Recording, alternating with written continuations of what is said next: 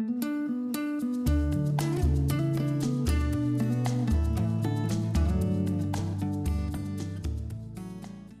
Ok, já estamos de volta. Eita, gente, aqui a gente, como é que é que falam por aí? Ganha pouco, mas se diverte, né? Muito legal. Aliás, eu trabalho sempre me divertindo muito, tanto lá no rádio quanto aqui na TV. Trabalho com equipes ótimas, graças a Deus, gente bem-humorada, né, que brinca muito durante as nossas gravações aqui e acaba que a gente se descontraindo muito nos nossos intervalos. Então, o que rola aqui, vocês não têm ideia do que rola nos bastidores. Vocês não têm ideia do que rola ali nos bastidores.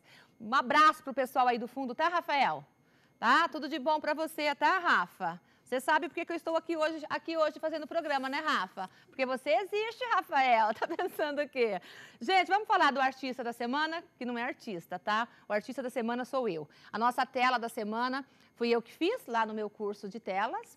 Nós continuamos também recebendo aqui a, o seu trabalho. Quem quiser colocar o seu trabalho aqui nessa, nessa, nessa parede, não precisa ser artista profissional, né? Aquela tela que você fez com todo carinho, né? Então, tá ali, que você quer mostrar para alguém? Traga aqui, fica a semana inteira com a gente. Aí na próxima semana a gente troca para ser mostrada aqui. Você pode trazer durante toda a semana, em horário comercial, vai ter sempre alguém aqui para receber a sua tela, tá certo? Essa é mais uma minha, acho que é a terceira ou quarta tela que eu coloco aqui. Essa rosa que eu demorei, tipo assim, um ano e meio para fazer. Vai ficar conosco a semana toda, então, essa tela e na próxima semana a gente vai ter outra, quem sabe a sua. Como eu já disse, pode trazer aqui na TV no horário comercial, que vai ter sempre alguém aqui para receber o seu trabalho, a sua obra de arte, e a gente vai exibir aqui então no nosso cenário, certo? Vamos aos nossos convidados, porque eu já falei demais e cadê esses convidados? Onde estão eles? Venha para cá, Tiago Rosar, campeão paranaense e sul-americano de jiu-jitsu. É isso mesmo? Boa noite. Boa noite. Tudo bem, Tiago? Boas-vindas, que prazer te receber. Pode sentar e ficar à vontade. Com ele. Ele é teu professor? Com ele está o professor Vander Carline. Ele é professor, é campeão e vai falar das suas conquistas. Chega mais, Vander. Boa noite. Boa noite. Tudo bem, Vander? Boas-vindas, tá? Bem, Fique à vontade. Fique à vontade. Que bacana receber vocês no primeiro programa inédito do, do ano de 2015, viu? a gente que agradece a oportunidade. E levar, assim, notícias bacanas. Né? Os dois são de Umuarama? Somos. Os dois são de Umuarama. O Tiago nasceu aqui, Tiago, é o Muaramense? Não, eu sou de Xambrê. Você é de... Olha, que bacana. Você é de Xambeiro... Como é que a gente brinca tanto da prainha lá? Xamburiú? muito legal, tenho muitos amigos lá em Xambrê, muito bacana mesmo. Você conhece a Dona Maria lá em Xambrê? Minha avó é a Dona Maria. Quem? Minha avó. Mas, será que é a mesma Maria que eu tô falando? Acho que não. Qual é a sua avó? A Maria... No microfone, por favor. Ah, é a Maria Aparecida. Não, eu Não. conheço a dona, a dona Maria Portuguesa, que antigamente ela tinha hotel lá. Hum, eu sei. Bem na, na rua principal lá. Conheço. Ai, que gostoso, é né, gente? Trocando figurinhas aqui com o Tiago. Tiago, como é que entrou esse esporte na sua vida, Tiago? Ah, na verdade eu comecei mesmo por causa do meu professor. Foi eu, eu cheguei aqui na cidade, comecei, tá, trabalhava na época. Aí comecei a treinar Muay Thai, porque é o esporte aqui da cidade, na academia, né? Aí, na verdade, daí eu gostei do, do jiu-jitsu, comecei a introduzir nos meus treinos e daí virou uma paixão e não consigo mais parar de E uma paixão que te levou muito longe, né? Com títulos é. muito significativos, né, Tiago? É, graças a Deus. Graças a Deus. Daqui a pouco a gente vai falar sobre isso. Deixa eu conversar com o Vander, que é o professor. Você foi sempre o treinador do Tiago. Vander, boa noite. Boa noite, Marta. Sempre fui, é, igual ele falou. Ele treinava outra arte marcial e sempre via a gente treinando, que era o treino era após a arte marcial que ele fazia. E aí eu convidei ele, ele veio e até hoje estamos aí. Graças a Deus é já é uma história vencedora e a gente tem muito frutos a colher ainda. Tá, e quantos anos faz que você treina o, o Tiago? Três anos, três anos já. Três anos. Três anos. Três anos. Ou seja, um, um, um, atleta que se dedica com três anos, ele pode ser um campeão, olha só. Sim, sim, porque o Thiago já tipo, abandonou tudo que tinha para viver disso, né? A gente tem os patrocinadores, a gente ajuda também. Mas é, não é fácil, não. É, tem que treinar muito mesmo. Aí, três, quatro treinos todos os dias. Três, aí. quatro treinos de quanto tempo, Wander? Duas horas, uma hora e meia, duas horas aí, no mínimo. Meu Deus do céu, mas é muita coisa, né?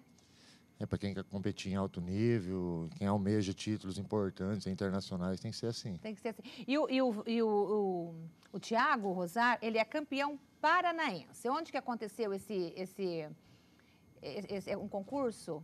É o É o- campeonato paranaense que exige várias etapas durante Certo. o ano, né? E Thiago ganhou três etapas, ao todo são quatro etapas. E aí cada etapa que você vai ganhando vai somando ponto. No final, o que, maior, o que mais pontua na categoria, no seu peso ali, na sua cor de faixa, é o campeão. E o ano passado o Thiago obteve esse título aí. Mas eh, eu também já fui campeão paranaense cinco vezes. E porque eu já compito bem há mais tempo, tal, já sou bem mais antigo.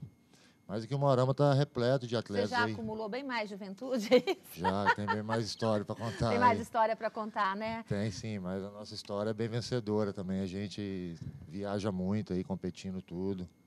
É brasileiro, já fui campeão brasileiro duas vezes. É porque a gente não, não, não, não joga muito na mídia, a gente prefere. Exatamente isso que eu estava pensando aqui. Gente, mas como é que a gente não sabe disso? Pelo menos eu né, não, sabia, né? São coisas tão bacanas que acontecem na nossa cidade que às vezes o meio de comunicação se fixa tanto em falar as coisas ruins que tem que não abre espaço para as coisas boas, né? Olha, dois Sim, atletas assim de tipo- grande porte com a gente aqui. Tipo, eu sou terceiro no Mundial.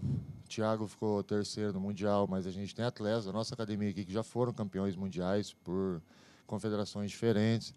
É porque a gente não divulga muito, que a gente procura manter o foco sempre treinando e sempre procurando evoluir. Não tem tempo, na verdade, É, não tá- tem tempo mesmo, porque feriado, domingo, a gente está sempre treinando, sábado, não para mesmo. Uhum. E quem para chegar lá e ganhar é difícil, e depois você ganha para manter é difícil. Então, eu falo, depois você chegou, você tem que dobrar os treinamentos, dobrar o Quanto mais você consegue, mais, exige, mais com se exige mais de você, exige, né? com certeza, que a partir do momento que você passa a ser campeão mundial, todo mundo visa ganhar de você. Exatamente. Quando você é um campeão brasileiro, todo mundo quer ganhar de você. Ô, você- eu vou perguntar mais, vou falar mais com você sobre o seu título, Sim. mas me fala, o jiu-jitsu, ele é um esporte parecido com qual outro, assim, pra gente? O, o jiu-jitsu é um esporte que ele começa em pé e vale queda.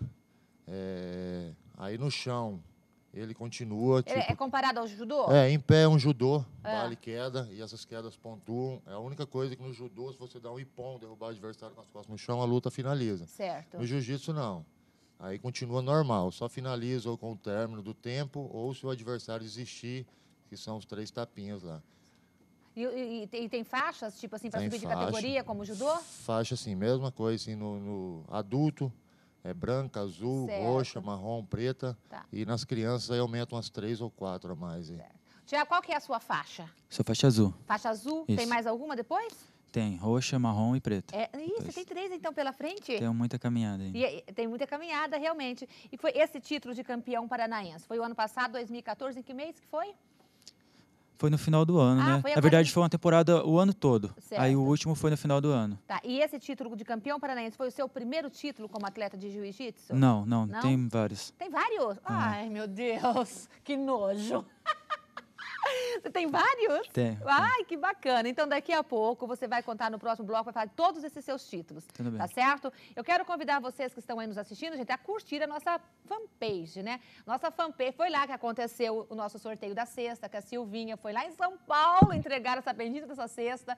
Silvinha, a próxima ganhadora vai ser do Acre. Tá? A próxima ganhadora vai ser lá do Acre. Aí eu vou entregar, porque eu tenho parentes em Rio Branco. Aí eu já fui lá em Rio Branco, já dou um pulinho na Bolívia, que é ali grudadinho.